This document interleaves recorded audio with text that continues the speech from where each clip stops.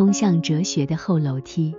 谢林对绝对的钟爱。弗里德利希·威廉·谢林 （Schelling） 活了将近八十岁，一八五四年八月二十日死去时，他的朋友巴伐利亚皇帝马克西米连命人在他的墓碑上刻了下面一行字：“德意志第一位思想家，盖棺之论不可谓不高。”但早在四年前，谢林最凶恶的对手。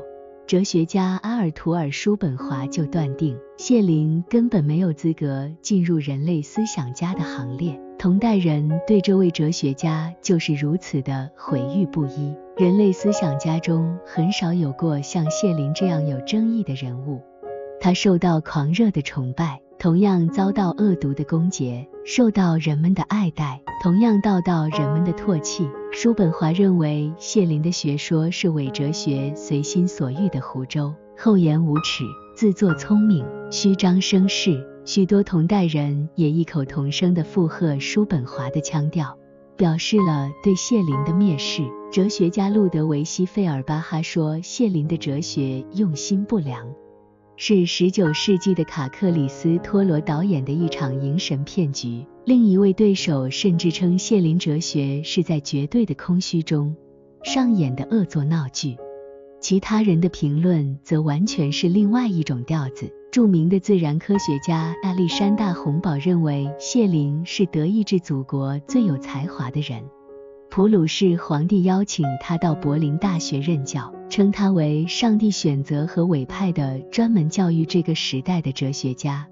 歌德赞扬说：“谢林的伟大天才，我们早就认识了，并且非常崇敬。谢林的思想博大精深，同时又非常清晰明了，令人心旷神怡。”这句话也是歌德讲的。如果说对手们将谢林比作犹太和魔鬼有点太过分的话，那崇拜者把他看作耶稣二世也难免有点夸张。可以推测，像谢林这样一个如此有争议的人物，其性格肯定也很复杂，远远不会像我们通常想象的那样。哲学家一般都很沉着冷静。甚至大智若愚。事实正是如此。谢林是个充满矛盾的人物，他沉着机智，敢于蔑视当时所有的精神权威。这种胆量虽然常常爆发为对他的私敌和反对他的学说的人的满腔仇恨的攻击，但同时也使他能够大胆地步入迄今为止还很陌生的思想领域。刚刚摆脱了僵化神学的束缚。刚刚离开了那些被他讽刺为哲学上的半瓶子醋的土林根大学讲坛上的哲学教授，可以说还没有真正理解康德及费希特思想中具有革命性的东西，他便满腔热情地投入了哲学界的论战之中，接二连三地抛出一份份所谓的思想纲领，对自己的成功充满信心。当时他才只有二十岁。在给好友黑格尔的一封信中，谢林写到了从各个方面推动统一事业的发展。最关键的问题是，年轻人应该联合起来，敢想敢干，冲破一切樊笼。胜券已经在握，自信自负，溢于言表。谢林最有影响的大弟子斯蒂芬斯说：“人到中年的谢林依然是一身虎胆，勇敢的。”毫不畏惧的和那些旧世界的卫道士战斗。谢林的女友及后来的谢林夫人卡洛琳非常了解谢林这种敢作敢为、宁折不弯的性格。他对谢林的评价形象生动，一言中的。他是一块真正的非常原始的自然物，比作矿石的话，那是一块地道纯正的花岗岩。和这种强烈的渴望在外界发挥影响的性格相反。谢林这人同样有一种寻求隐蔽的欲望，随着年龄的增长，这一欲望愈来愈烈，特别是夫人的早逝，使他彻底的陷入了精神的寂寞之中。他现在自由了，我也和他一样，把我和这个世界连在一起的最后一根纽带已经被剪掉了。此后不久，三十六岁的谢林说：“我越来越希望从此销声匿迹，如果取决于我的话。”那人们最好不要再提起我的名字，尽管我不会停止为我的坚贞信仰而战斗。高速度地发表了一系列的哲学纲领之后，出现的是长时间的沉默。谢林几乎不再登上讲坛，不再发表本来就不多的作品了。逝世的前几年，谢林就写道：“真是这样，年年日日，我只有在与世隔绝。”沉浸在写作之中时，才能感到某种幸福。我的著作总结了我的一生，他们接近完成之时，我已经预感到了即将到来的永恒的安息。这种一面渴望冲向世界，另一面却急切的盼望回归内心的矛盾性格，同样决定了谢林与朋友们的关系。在土林根教会学校学习时，他和一帮朋友关系密切。特别是和黑格尔及赫尔德林，后来在耶拿和德勒斯顿，他和一些浪漫派诗人及作家们结为一体，其中有施勒格尔兄弟蒂和诺瓦利斯，他们一起对精神界出现的新气象感到欢欣鼓舞，感情同样奔放不羁。无数证据说明谢林的讲话很有吸引力。斯蒂芬斯写道。谢林讲课时，明亮的两只大眼放射出不可抗拒的精神威力。诗人波拉腾说，谢林讲完后，有时会出现死一般的寂静，好像所有在座的人都屏住了呼吸似的。与这种热情开朗形成鲜明对比的，又是那种抑郁悲伤、喜欢寂寞的秉性。朋友们聚会时，他常常表现的行动笨拙，反应迟钝。不知所措，人家兴高采烈地争来争去，他却一声不吭地独坐一旁。诗人席勒抱怨说：“和谢林只能玩牌，无法进行深入的交谈。更厉害的是，谢林有时如此伤心，甚至萌发过自杀的念头。卡洛琳想不出更好的办法，只好请歌德多多关照。另外，对朋友的热情时而会转变为粗暴的拒绝。”最令人寒心的便是他和黑格尔的关系。早年的同窗好友，后来成了残酷无情的仇敌。最后，谢林完全与世隔绝了。一位同代人写道：“也寄给我们的，是一位隐士的牧师式的说教，深刻透彻，富有哲理，但却与时代不符，不能引起共鸣，亦不能令人动心。所有这些不协。”所有这些生活经历中的波澜起伏，都是凡人谢林为思想家谢林付出的代价，因为他的思想正是来自于灵魂的不安与高度紧张。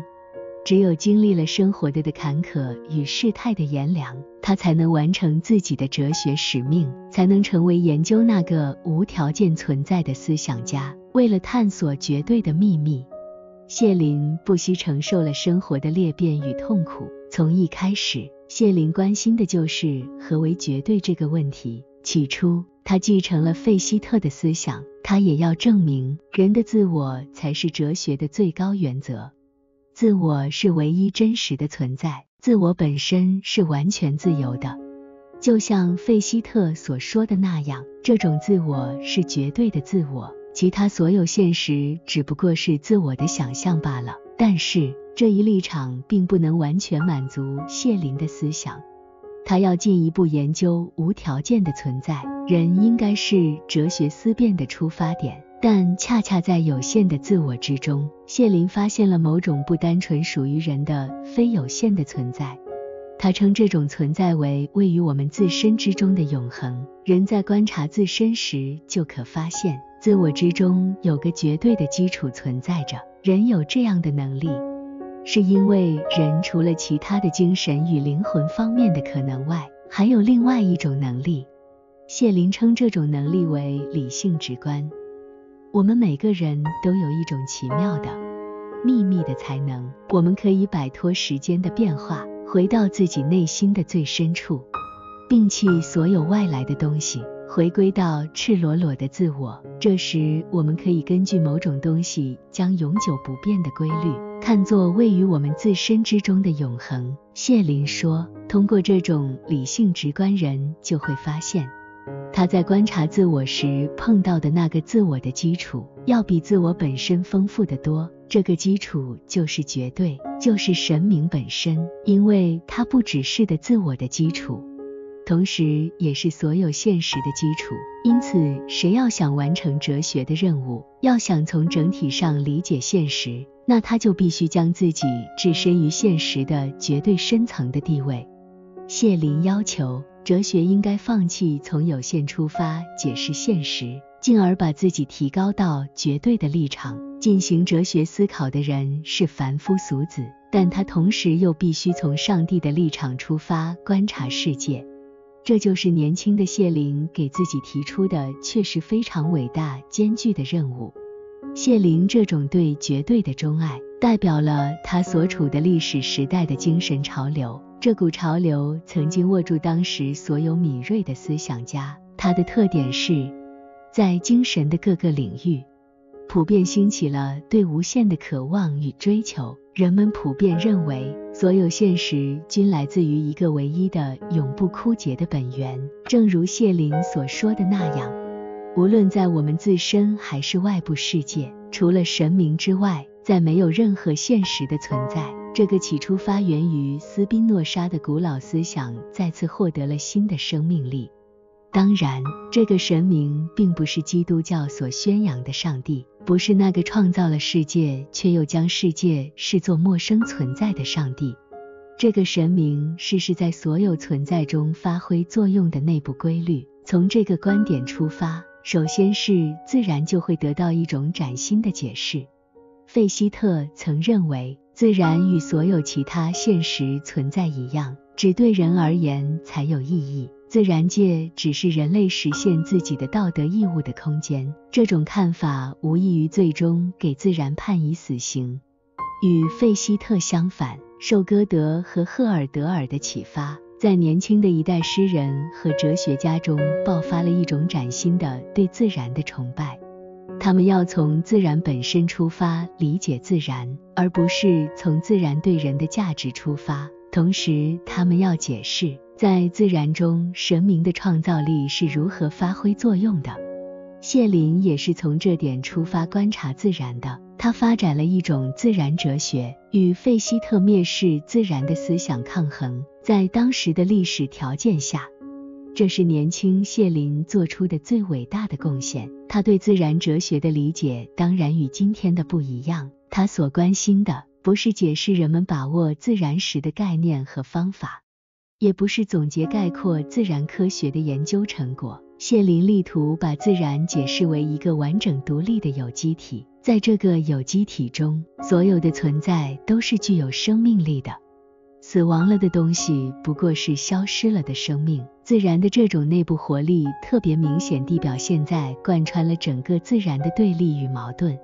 譬如在无机范围内表现为磁力和电力的矛盾，在有机范围内表现为阴性和阳性的冲突，在整个自然界中表现为黑暗与光明的对立。通过这些对立，自然从一种物质状态转变为另一种，显示了一场伟大的、富有活力的发展。自然哲学的末尾，谢林提出了一个问题。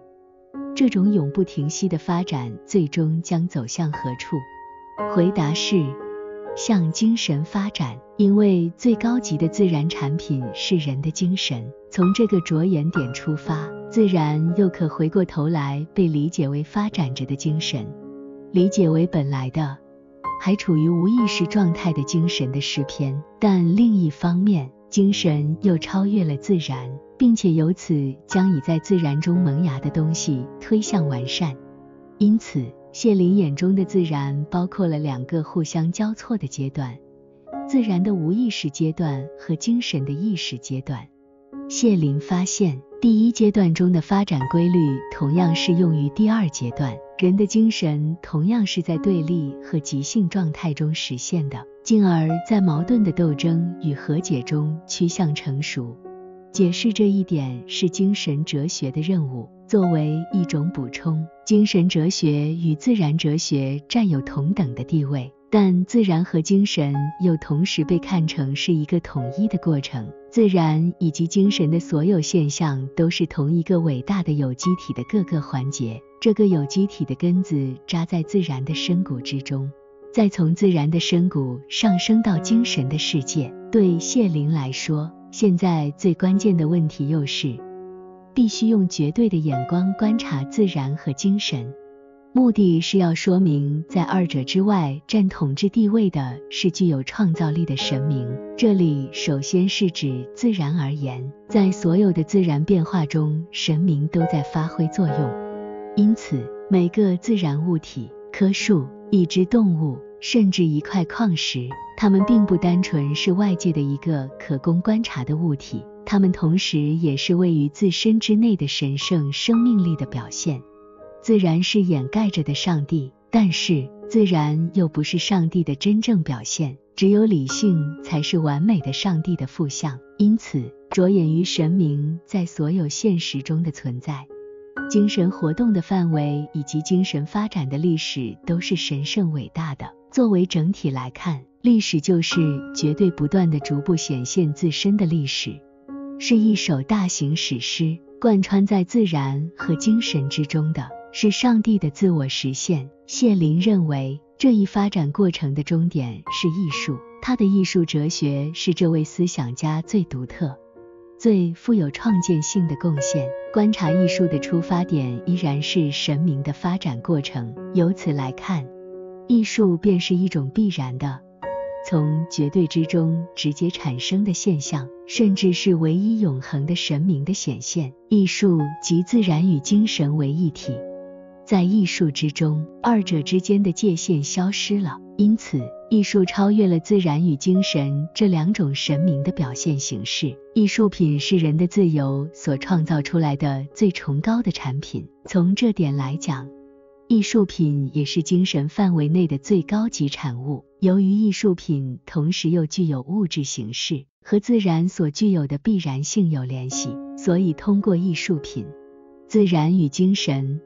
必然与自由得到了和解。神明在经历了自然与精神这两个阶段后，在艺术中再次获得统一。在哲学家看来，艺术是最高级的，因为艺术向哲学家显示了最神圣的存在，在自然和历史中被分开的，在艺术中获得了永久的原始的结合，如同一堆烈火在燃烧。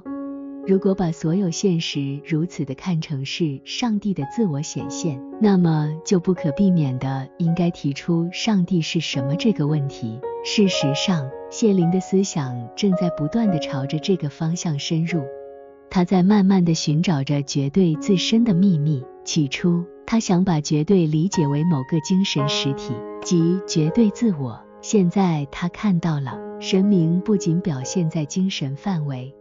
而且同时表现在自然范围之内，这样单纯把神明理解为某种主观的精神，显然是不够的。在现在这种情况下，谢林必然把上帝看成超越了自然与精神、自我与非自我、主观与客观的某种存在。谢林所说的上帝是完全冷漠的存在或绝对的统一。就是这个意思。上帝是一个统一的点，是所有矛盾与对立的共同起源及共同目的。谢林早年的好友黑格尔当然对此不以为然，他讽刺说：“谢林那个漠然的绝对，如同漫漫长夜。常言道，黑夜中所有的牛都是黑色的。事实上，这样一个将上帝与宇宙合一的概念也是非常危险的。”有限的存在很容易失去其独立性。如果所有的存在只有在它们的本质位于同一个漠不关心的绝对之中，这个意义上才是真实的，那么事物之间的所有区别就会消失，事物本身最终将沦为单纯的表面现象。然而，我们亲身经历的事物却是现实的，甚至是如此的现实。以至于我们必须怀疑，我们是否可以从上帝的角度出发来引申与解释它们。就像谢林自己强调的那样，自然中存在着偶然与反理性的东西，混乱在毫无秩序的繁殖蔓延，还有自然本身的自我毁灭。在生命范围内存在着数不清的丑恶欲望，好像神明统治着一个充满恐怖的世界。在人生中同样会出现与神圣精神格格不入的、毫无理性可言的追求。人生充满了丑恶与可怕，甚至自由这个人作为高级自然的最高贵的特征，也是产生于非理性之中。因为每个人的性格观建立在某个无法解释的黑暗的基础之上，更有甚者，恰恰依赖自己的自由。人可以背叛自己的起源，大胆放肆的试图单纯随心所欲，为所欲为。因此，世界历史的舞台便上演了一出出绝望索然的闹剧，使我不得不怀疑世界是否还有一个真正的目的，因而也不得不怀疑它是否还有一个真正的起因。概括起来，谢林最后说：“人类的命运本来就是悲惨的。观察现实。”看到的只是存在的不幸，但是谢林并没有因此得出结论，认为这种值得怀疑的现实根本不可能根源于上帝之中。相反，他现在的看法是，仍然应该一如既往，继续从上帝出发解释现实中那些荒谬的现象。这样就必须修正一下迄今为止对上帝的解释。如果说那些和绝对相悖的现象同样来自上帝，那他们必然在上帝中占有一个独立的根子，给上帝补充上某种消极的东西，也就是不可避免的了。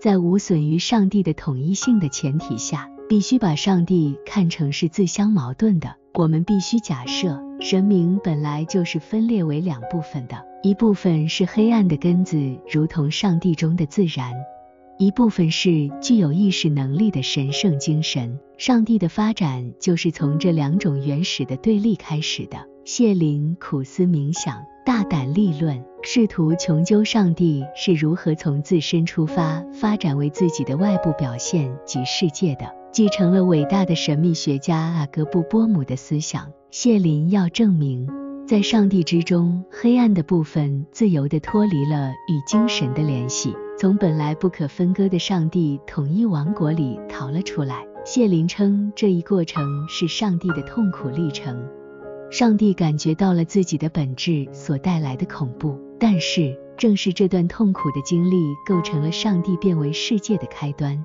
用我们的眼光来看，那个敢于冲破上帝王国的统一，试图完全依赖自己的欲望而存在的东西，就是我们看到的自然。然而，神明又努力摆脱这种自我异化，希望重新达到自身的统一。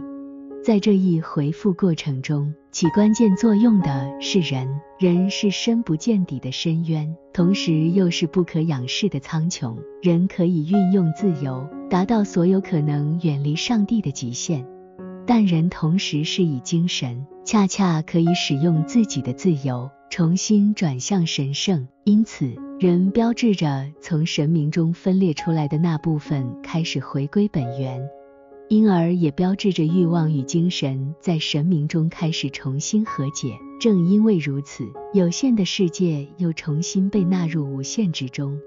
回顾这一发展过程，谢林说，宇宙以及宇宙历史的神圣用意不是别的，只是完全的和解，以便重新消失在绝对之中。从上帝的角度来看，这是一件无比伟大的事情。通过这个变化。上帝达到完全的自我意识，这个过程是彻底走向自我意识的过程，是上帝人生化的过程。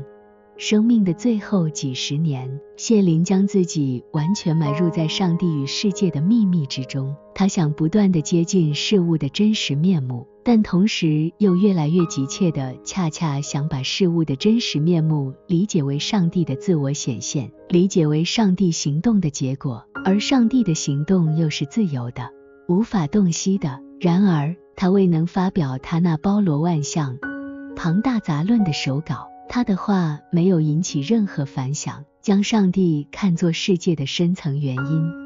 思维完全陷入上帝之中，这就是谢林的一生。他曾经说过，为了献身于对绝对的钟爱，哲学家付出的代价是很高的。